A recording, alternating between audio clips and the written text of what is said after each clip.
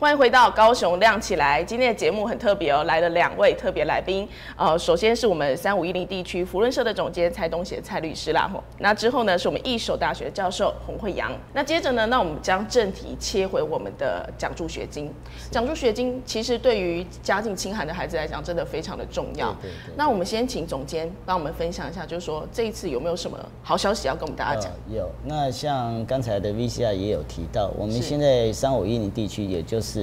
包含了高雄、屏东跟台东地区。那我们现在呃主要有大概有三种奖学金。呃，第一种是中华福人教育奖学金，它原则上是针对硕士跟博士班。那硕士班呢，一年就是呃十二万，博士班是一年十六万。那它的呃截止时间是到十一月啊。那呃，对不起，到九月，到九是月好。那另外来讲的话，像这个台湾福伦教育奖学金，它原则上是高中职以上的，啊、那它的截止时间是到九月底，啊是那它是每一位学生是一万元。那呃，最近呃几年，在最近这四年内，我们又另外设立一个所谓福伦之子的教育奖学金，那是针对呃小学、国中的部分啊，所以我们大概是有一个比较完善的一个整个部分。那这个是一个学生一年是呃一万二，那原则上我们都是在九月开学的时候给啊，那这个是整个地区性的。除了地区性的之外呢，我们各福伦社本身也会视他们自己的财力，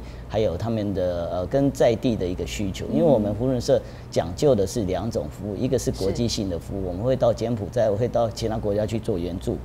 但是我们更重视的，就是因为它的起源就是在地的，是是。基于社区的需求。所以我们会针对呃社区里面各福伦社自己视他自己的力量，他有设奖学金，然后甚至来讲，像比如说我们有一个呃福伦社，他就是奖学金给了一个呃女呃小女生哈，那她就是在等于是她高中大学的时候遇到困难，所以她将来呃她后来毕业之后，对我们福伦社就是非常感激嗯，所以她也当当选了我们那个福清团的呃这个地区代表，然后代代表台湾出去参加亚太的福清杯的那个呃竞赛，也得到冠军。哇，哦，所以说这个来讲，它就是一种回馈。所以你这个对他的一生来讲，他每次的演讲都会让我很感动，他就是会感感谢这些奖学金带给他的一个帮助。嗯每次都一定会提到。对对对对。那我想现场其实也有一个每次都一定会提到福伦对他的帮助的人，就是我们的教授。然后，那教授是不是给我们可以跟我们分享一下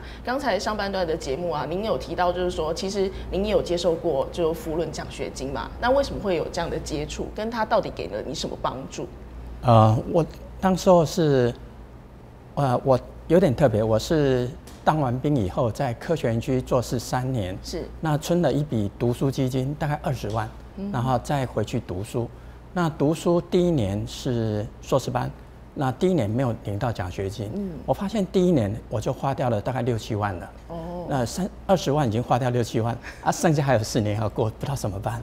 啊。刚好那时候有那个我的朋友，他领过那个那个中华福林基金会的奖学金，所以我就跟他请教怎么去领这奖学金怎，么申请？哎，怎么嗯去申请。啊，后来我有申请到，呃，第一年是领到中华福林基金会的奖学金，那第二年以后我就去申请呃教育部的奖学金，第三年是申请国会会的奖学金，第四年是国策会奖学金，所以整个我求学过程博士班里面呢，我领了大概七十几万的奖学金，哇，也算是非常的多了。对。哎，那这么丰厚的奖学金，其实你就不用太担心你的学杂费对问题了，对对不对？对那这样就是讲起来，就是说你之后是不是也像刚才总监分享的一样，那一位小女生，然后常常都会提起福伦奖学金？呃，其实我我从开始工作以后，我大概每年都有，呃，其实我一直都对社会上也都参与很多公呃公益的团体哈，像手语学会啦，像生命一线啦，像消聚会，呃，其实我从毕业以后一直都在当社会的义工。所以这样讲起来的话，因为教授本身有领过，那教授是不是可以跟我们分享？你觉得你还有领过其他的，像国科会啊，或者是呃国家的一个奖学金嘛？对所以你应该感受更深。你觉得福伦的奖学金跟一般的奖学金有什么不一样？呃，我觉得福伦奖学金它是一个社会的力量。是那我也认为说，这个奖学金不应该是啊、你拿了以后，那你如果能够再把它传下去，当你站稳脚跟啊，你有能力的时候呃，你把它传下去，那会更好。啊、就是这个这个讲述呢，不是只到你而已，就是你还要把它传出去，对，哎、所以教授现在是不是也在做回馈？因为加入了，当然了，对福 人就是都在做。对，我们大概都是这样子，都是在这样做的。是。那总监跟我们讲一下，你觉得呢？呃，在福伦提供的这个奖助学金跟外面的到底有什么样的差异？您个人觉得？呃，因为我们的奖学金哈，因为大部分都是福伦舍友发自自己内心善心的一个付出，是那我们都会去找，就是呃，不是政府补助的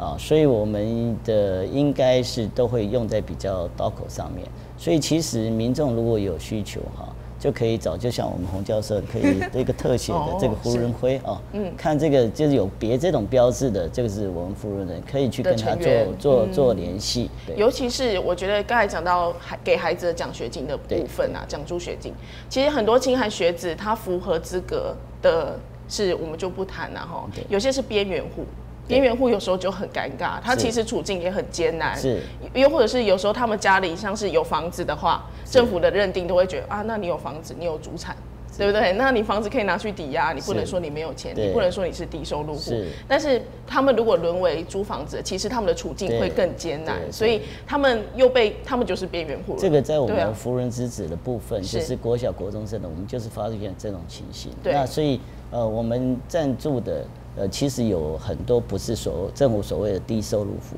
就是他们实际上来讲，因为政府没有把它列为低收入户，所以他们根本没有办法申请政府的补助。所有的补助我们的主要就是针对那些的学生。嗯那我们不是只有我们自己，我们还会跟学校的校长合作。对所以我们也很希望说，对，嗯很希望说校长能够跟我们福人社来配合。那我相信我们福润社的舍友的爱心应该够的哈，当然需要量力而为了。可是我们还是希望是说跟学校啊能够能够做一个合作，嗯因为学校最清楚学生的需求。对，而且他们其实提供的名单一定是最确切的，他们知道谁有拿到补助，谁没有嘛而且家境真的不好，那也真的需要社会的援助对。福伦刚好又是这样的一个团体，对对就是希望可以帮助这样子的呃孩子啦。对对对，所以在求学之路呢，我们想请教总监，总共已经有多少学生受惠了？以这三个奖学金来你你来讲的好几万人应该是没有没有问题了，因为详细的计算数字，因为有分成不同的层次，所以呃我们就没有那么呃详细的去计算。对，那更何况你光是福人社本身，嗯它有些是自己筹设的，就像我刚才讲那个小女生，他们一年有些时候一给就给十几万。是啊，所以这样子的一个状况之下，我们是没有办法去统计说到底有多少，但是超过几万的以上是绝对没问题的。嗯所以教授也是其中之一。那教授要不要帮我们就是再呼吁一下，如果真的有需求的同学，可以去做申请，就像您当初一样。对，呃，在福伦社里面哈，呃，刚刚总监也讲哈，就是呃，虽然我们没有办法说很呃，怎么讲，就是福伦社的舍友都爱心是够的，对。哎，就是只要你提出你的需求，嗯，那福伦社舍友他也会做一个判断，那觉得说啊、呃如果他自己能力呃去帮助也还不够的话，他会找人来，哎，就像我们呼朋引伴，对，会呼朋引会找更更多的人来一起参与，嗯所以，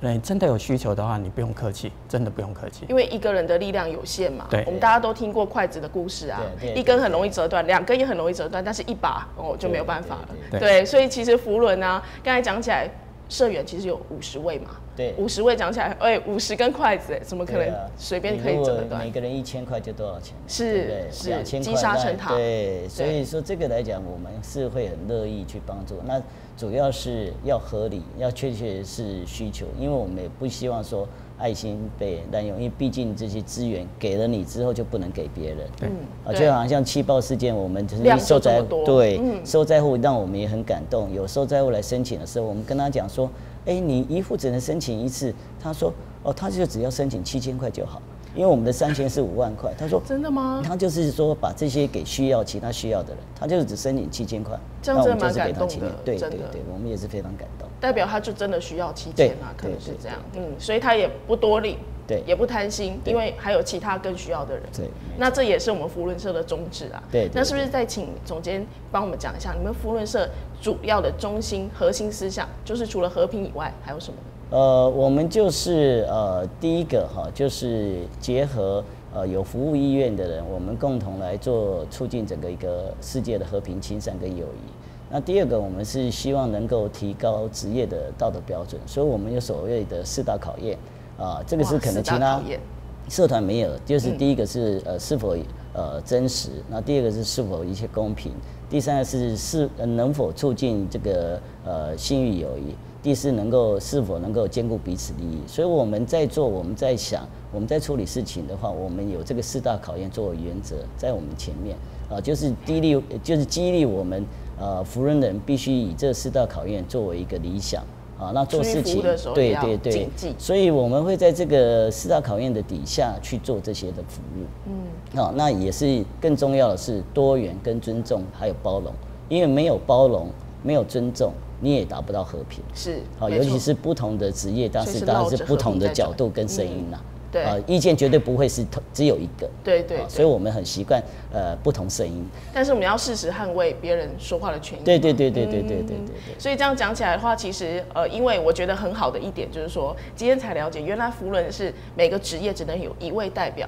对这样讲起来真的是大家所以我们跟其他国际性社团很大的不同是，我们绝对不是一言堂。是。我们是多元的，是跟其他呃社团有些社团来讲，它大概都是有所谓的呃精 精神领袖，嗯。啊，那他大概可能他的意志会贯彻，意志会领导大部分人。那我们原则上是由下而上的，是多元的声音，透过尊重，透过这些包容，来达到整合力量来出去服务。因为我们最终的一共同的思想就是超我服务，就是去服务。是，哎，就是用和平的信念去做服务啦哈。今天节目中真的很开心，可以邀请到总监以及教授来到现场。今天的高雄亮起来就到这边，感谢您的收看，我们下周同一时间再会。